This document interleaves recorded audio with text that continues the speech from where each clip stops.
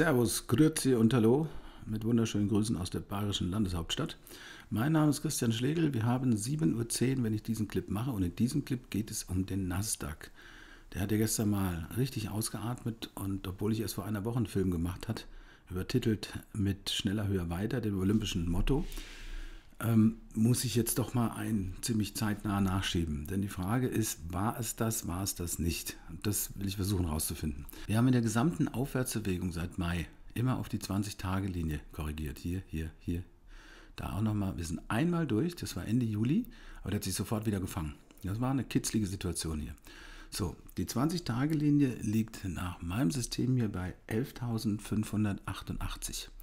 Momentan hier um 7.10 Uhr rechnet der Freund bei 11.700. Äh, gibt also nochmal nach gegenüber gestern Abend oder Nachmittag. Das heißt, wir sind momentan, ich will mal das fahren Gott, 11.700 sind wir hier, da am Tief von gestern. Wie gesagt, zur 20-Tage-Linie, gerechnet per gestern 11.588 sind das dann noch 120 Punkte. Hält die oder hält die nicht? Ich muss ehrlich sagen, ähm, da waren ja manche Werte dabei, fangen wir Apple, Tesla, ähm, Zoom, wie sie alle heißen, die haben ja eine fulminante Rallye gemacht. Gerade Zoom, am, am Mittwoch war das 42% plus. Um, dann haben sie gestern halt mal 10% nachgegeben. Ja, das ist nicht viel. Also das ist nichts anderes als ein Atmen. Bisher werte ich das auch als ein Atmen. Dieses Atmen kann meiner Meinung nach durchaus runtergehen. Erstmal hier bis zu diesem 61er Retracement bei 11.450. Das wäre so das erste grobe Ziel im Extremfall sogar bis hierhin 10.857. Aber da sollte er tunlichst nicht runter. Wenn er das macht, dann äh, sehen wir uns hier irgendwo bei 10.300 wieder. Das ist gefährlich. Mal rein von der Technik her. Wir haben natürlich jetzt hier einen bösen Knick im MACD. Histogramm, moderne Sichtweise ist schon negativ. Ich warte immer noch auf das zweite und das wird heute definitiv kommen. Wir haben ein fettes, frisches Verkaufssignal in der Stochastik. Auch nicht schön von hier oben, wir waren am oberen Band, sind dann wieder rein. Was ich gemacht habe letzte Woche, und ich habe das auch im letzten Film gesagt, ich habe noch nie in meinem Leben Nasdaq gehandelt. Das ist nicht mein Ding. Aber irgendwann konnte ich auch nicht mehr. Meine Scheine hatte ich gekauft bei, wo war denn das? Das war ein Put von, ähm, da war der, der Index bei 12.200 und ich habe 12.359 genommen. Ganz bewusst sehr knapp mit einem kleinen Geldeinsatz. Ich wollte reinriechen in den Markt. Wer bei mir die Seminare macht oder die Webinare, der weiß, ich nenne es immer Schnüffelstücke. Ich muss das riechen, ich muss das fühlen. Ich wäre nie auf die Idee gekommen, da mit einer großen Position reinzugehen. Es ist, das hat noch gestunken. Ja? Im Sinne von, die Shorts haben immer noch nicht genügend gehechelt. Aber das war dann halt am Donnerstag ähm, der Fall, beziehungsweise am Freitag mit diesem Schluss. Das war ja auch eine sensationelle Bewegung, die der da gemacht hat. Da habe ich dann nochmal welche gekauft. Allerdings dann mit einem größeren Volumen, aber auch mit einem größeren Abstand. 13.107. Da konnte ich ruhig sein. Und da lag ich auch erstmal schief. Aber gestern hat sich das dann, die haben sich fast verdoppelt. Das war sensationell. Und ähm, für mich ist es wichtig, das rüberzubringen, dass man nicht immer mit dem gleichen Volumen reingeht, sondern wenn man sich nicht sicher ist, und ich war das nicht, weil das Ding war im vollen Rand, das war eine Bayer Stampede verbunden mit einem riesigen Short Squeeze, dass man da erstmal klein reingeht und sich das anschaut und versucht es zu fühlen, weil wenn Sie nur vom Chart sehen, haben Sie keinen Bezug zu. In dem Moment, in dem Sie, wir können das auch Pizza Trade machen, dann sind sie drin, dann fesselt sie das, dann sitzen sie vom Bildschirm, dann schauen sich das genauer an. Also ich finde das sehr wichtig. Ich habe das so gemacht, die ersten Scheine wurden dann rausgekickt. Das, damit habe ich gerechnet, dass es passieren kann, deswegen habe ich das nicht gestört, aber die zweiten, die haben dann, ja, die hatten dann Standgas. Das hat Spaß gemacht.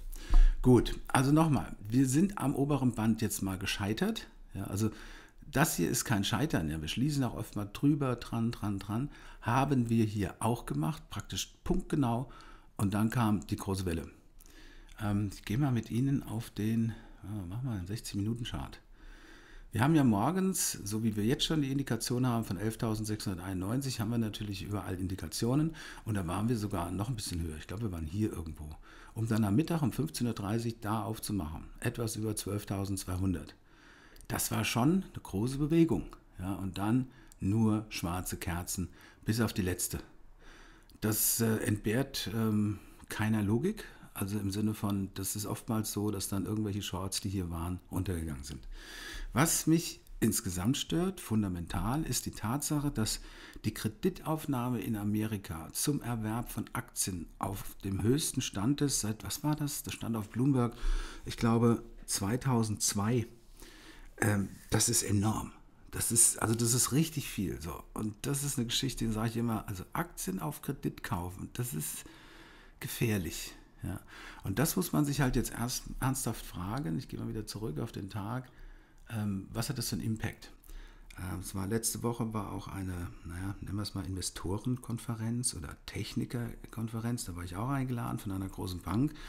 Und die haben gesagt, das, was hier gekauft wird, ist nicht seitens institutioneller, die da nochmal fett reingehen. Das ist überwiegend Retail. Ja, das sind die Robin Hoods dieser Welt. Ja, das sind wir. Und ähm, das heißt, das ist ein eher weiches Fundament.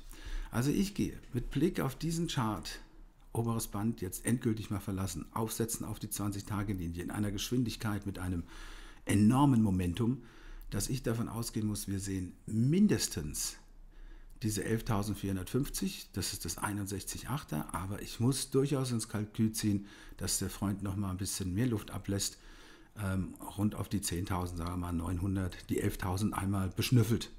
Das sind mir alles Verkaufssignale auf höchstem Niveau und ich glaube, das war gestern so eine Art Initialzündung im Sinne von, ups, die Kurse gehen ja nicht nur hoch, die können ja mal fallen. Das wird jetzt also super spannend, das wird hochinteressant zu handeln. Zum Handeln habe ich euch ein paar Scheine mitgebracht. Ich werde ihn nicht kaufen. Mir ist das, mir ist das zu heiß. Aber wenn ich sehe, dass das untere Band im Moment bei 10.712 ist, ähm, das ist, das ist mir zu weit, aber das ist jetzt ein Schein, der ist nur und ausschließlich für die Watchlist. Und zwar habe ich, äh, welcher war denn das jetzt hier? Der da. 10.866. Da sind wir hier etwas oberhalb des letzten, des letzten, der letzten Aufwärtsbewegung, des Beginn der letzten Aufwärtsbewegung. 10.866er, im Moment ein 14er Hebel, der wird aber ganz schnell steigen. Das ist von Goldman ein Open-End-Schein mit der Kennnummer Gustav Friedrich 05 7 Siegfried GF 057S nochmal, der ist nur für die Watchlist erstmal. Wenn also hier das Ding ein bisschen weitergeht und dann irgendwann Verkaufssignale seitens der Stochastik entstehen. Das MACD wird zu langsam sein, da würde ich nicht drauf warten. Ja, aber seitens der Stochastik, also nochmal unter 20 und dann nach oben drehen. Äh, nehmen sich dazu Hilfe den 4 Stunden und vielleicht den 1 Stunden Chart, dann sind sie da ein bisschen zeitnäher dran. Aber das wäre ein Schein, den packe ich aber nur auf die Watchlist. Ich sehe oder erachte die Möglichkeit, dass wir von hier aus irgendwie jetzt ein neues High machen, in den nächsten, sagen wir, zehn Handelstagen, halte ich für sehr gering. So, und jetzt schauen wir mal nach dem Put. Und den kann ich ganz genau terminieren. Hier am Hoch muss der Stop liegen. Bitte so plus 20, 30 Punkte. Ja, 12.435 war das Hoch. Und ähm, darum muss ich mir die Basis suchen. Und da komme ich auf sowas hier. 12.481.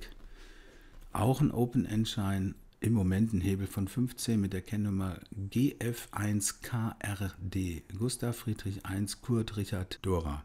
Das wäre der Schein. Der gefällt mir definitiv besser, weil ich bin der Meinung, der Markt hat noch nicht genügend ausgeatmet und da kommt noch mehr. Es ist völlig in Ordnung, wenn ein Markt mit so einer Bewegung mal atmet. Das ist auch in Ordnung bei Tesla. Der Aktiensplit, sowohl bei Tesla als auch bei Apple, der hat denen psychologisch wirklich geholfen. Aber ich bin der Meinung, der Nasdaq hat sein Hoch erstmal gesehen und sollte mindestens pausieren, eher eine weitere Korrektur machen.